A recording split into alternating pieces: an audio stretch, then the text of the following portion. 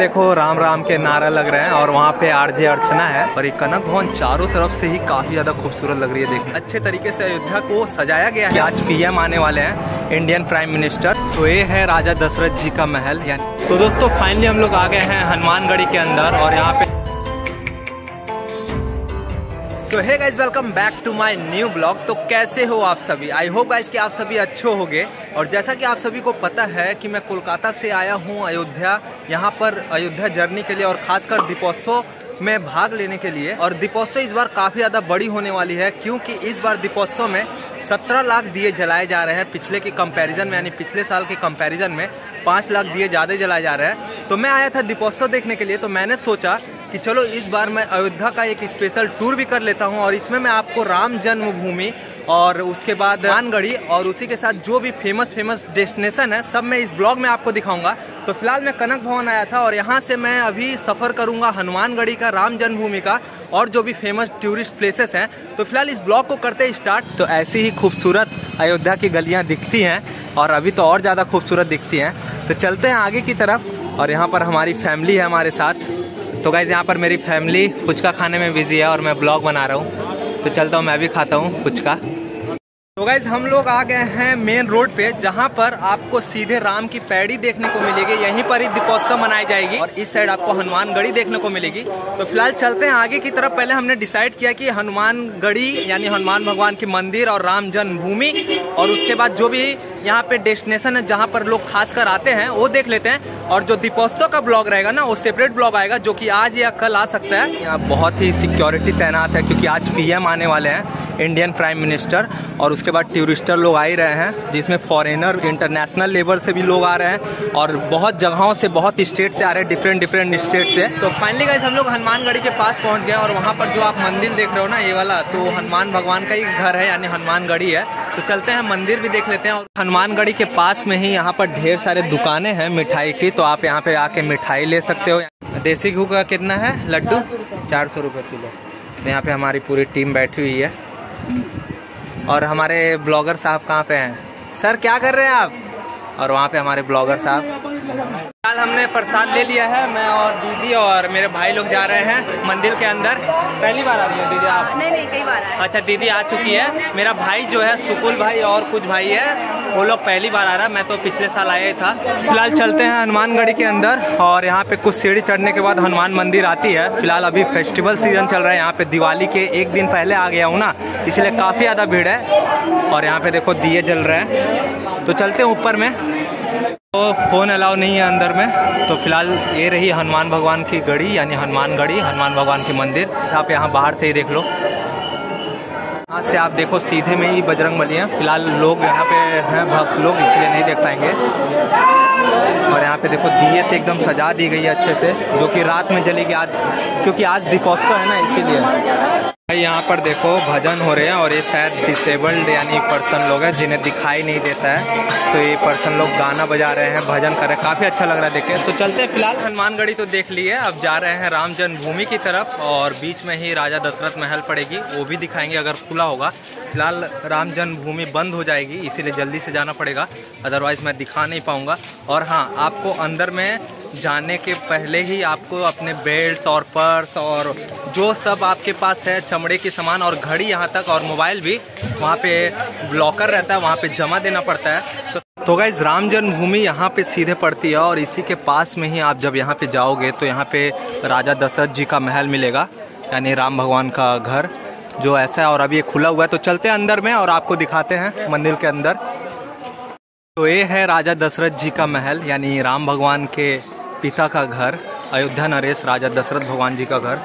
और यहाँ पे एक स्पेशल चीज़ मैं आपको दिखाता हूँ। यहाँ की ये दरवाज़ा जो है, बहुत ही बड़ी है और काफ़ी साल पुरानी है। देखो कितनी बड़ी दरवाज़ा है यहाँ पर। काफ़ी बड़ी है और चलते हैं अंदर में। यहाँ पर बैठने के लिए भी काफ़ी बड़ा स्पेस है और मंदिर के अंदर शायद जाना मना है अभी। वहाँ पे शटर बंद कर दी गई है और यहाँ पे और यहाँ पर पूरे दिए ही जलाए जाएँगे क्योंकि दीपोत्सव के टाइम में आया हूँ, दिवाली के एक दिन पहले। तो कुछ ऐसा व्यू है राजा दशरथ महल के अंदर का। काफ़ी बड़ा है और वहाँ पे महल है, शायद उसके अंदर जाने दे रहे हैं या नहीं। हाँ शायद शटर लगा दी गई है, लोगों को जाना अलाउ नहीं किया जा रहा है इसीलिए लोग यहाँ पर बैठे हुए हैं। तो फ़िलहाल कुछ ऐसा व्यू है यहाँ पर। तो देखते हैं, एक बार ट्राई करते हैं, मंदिर के अंदर जाने देंगे कि नहीं। तो फ़िलहाल चलते हैं। अंदर जाना है क्या? अलाउ बंद कर दिया है?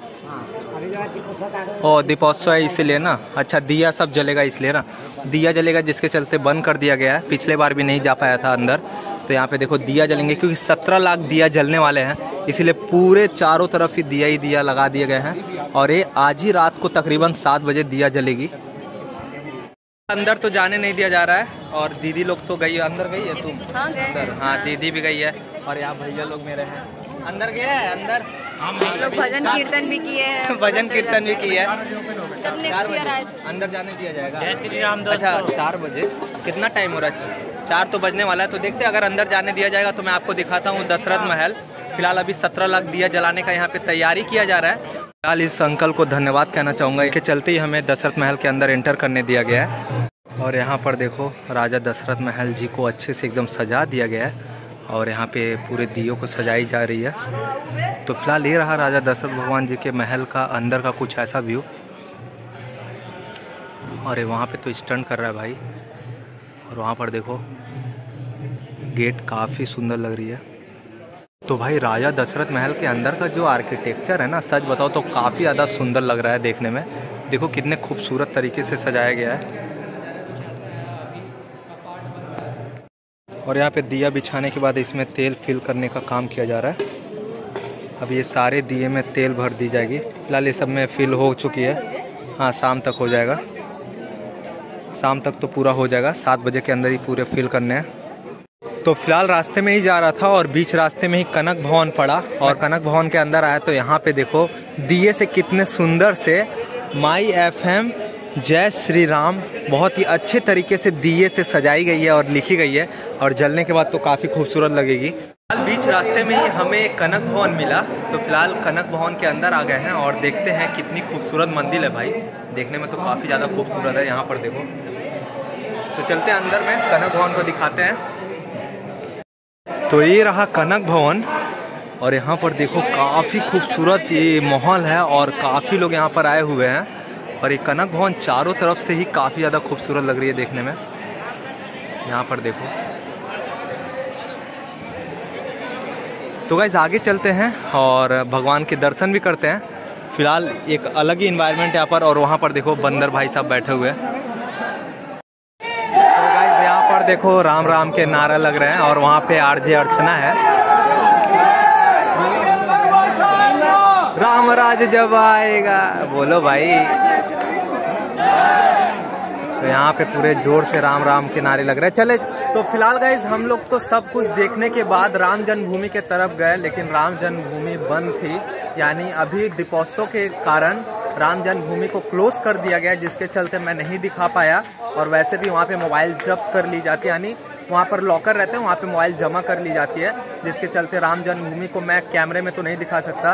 फ़िलहाल, ये था हमारा टूर जिसमें मैंने हनुमानगढ़ी, कनक भवन और राजा दशरथ महल को भी दिखाया। तो अयोध्या का काफ़ी अच्छा और टूरिस्ट प्लेसेस और हमारे प्रभु श्री राम की नगरी को मैंने दिखाया है और दीपोत्सव का भी ब्लॉग आएगा। तो फ़िलहाल इस ब्लॉग को करते ही पर खत्म। तो आई होप गाइस कि आपको काफ़ी पसंद आएगा अयोध्या की प्यारी सी नगरी। तो काफ़ी अच्छा लगा और हमारे प्रभु श्री राम की नगरी आपको काफ़ी पसंद आई होगी। तो मिलते हैं दीपोत्सव वाले ब्लॉग में। वो पहले भी आ सकती है, इस ब्लॉग के बाद भी आ सकती है तो आप देख लेना, चैनल पे अपडेट आ जाएगी, इसलिए चैनल को सब्सक्राइब कर लेना।